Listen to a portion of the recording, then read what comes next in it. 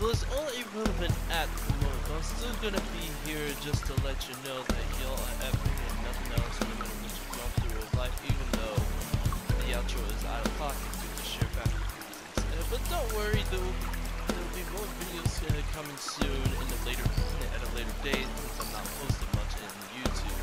You know, because I normally take my time in, in space. Space. So, so don't worry. More streams know.